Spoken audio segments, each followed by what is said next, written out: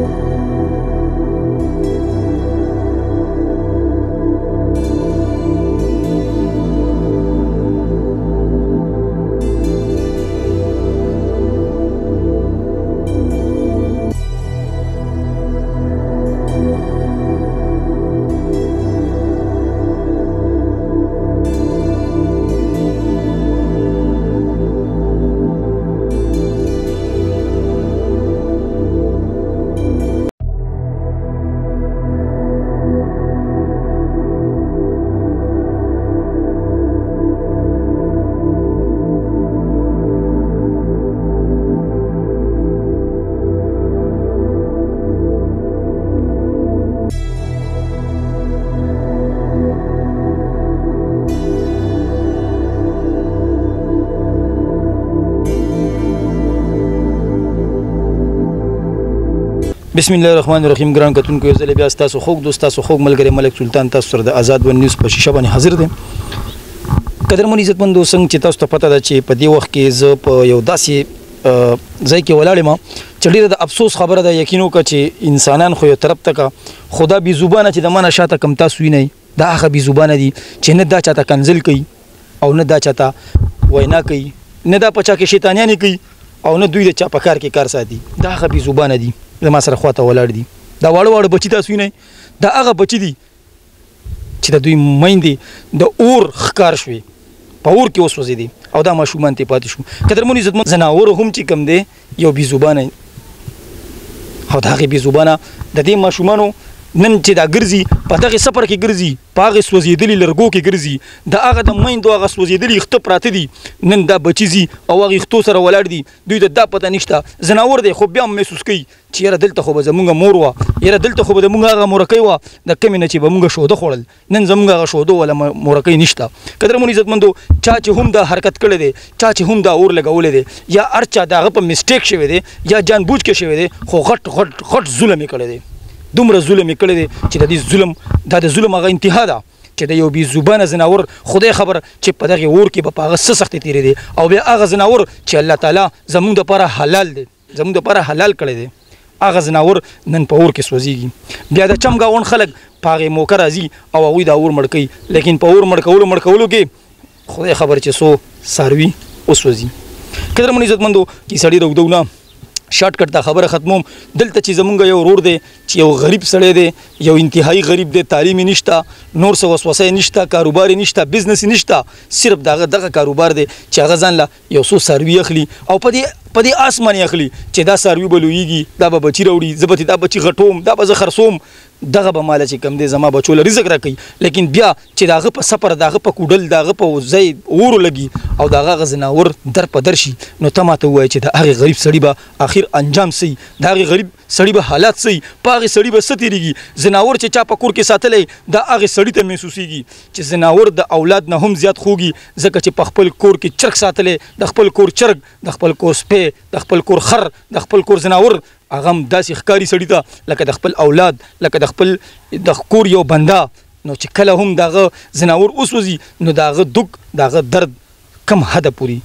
د دې لپاره زمونږ راغلي یو تاسو ته نن د هغې بیزومار د هغې ګډبا د هغه سره خبرې کوو زمونږ سره اوسئ ازاد ون نیوز سره اوسئ تونکو زما سره دا مشر ولاړ دی یقین وکړه چې په دې ځناورو خو مال نورې خبرې نه را دي چې زه وکم ځکه چې زه دې بچو ته زه ګورم یقین وکړه چې ماته داسې ښکاری لکه چې زما بچي زما بچي در پدر شو السلام علیکم وعلیکم السلام مشر دا راته وایي چې دا کم بچی زدلته نه مدا ماشومان دا دوی دا کم چې سفر وسوځي دوی د ګډبا او د دې ګډبا چې دا کم نقصان شو د دې په اړه کې تاسو وایي دا تاسو کې دا زموږ ضرور کیږي د دوی خو دک رزق دی دغه ته خو دی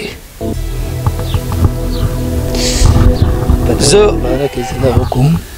چې لکه ډېر غریب دی دده خو نه بچیشت دغه شته نه نوکری شته بس زه لکه حکومت ته دا درخواست دغه کوم چې لکه د ده سره دې خپل دغه وشي ځکه چې مونږ په خپل دې اړیکو په اسلام آباد کې دې اړیکو هم او مونږ سره لږ ډېر امداد به وکړو خو دومره د مونږ سره نشته د مونږ خو په خپله واړه واړه دغه دي نو د دغه خبره زه دا حکومت ته دا درخواست کوم دغه کوم چې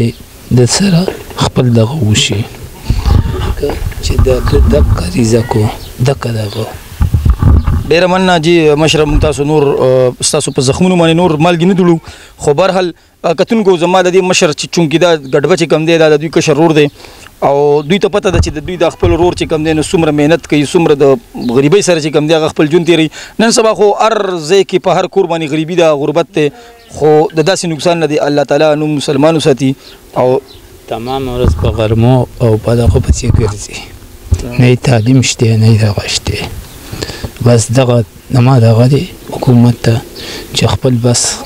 ارسه اینی او خم وکیله د راشي خپل دغه دی وکي دغه چل دی نو زه نور سوی دی نشم نو صحیح شو ډېره مننه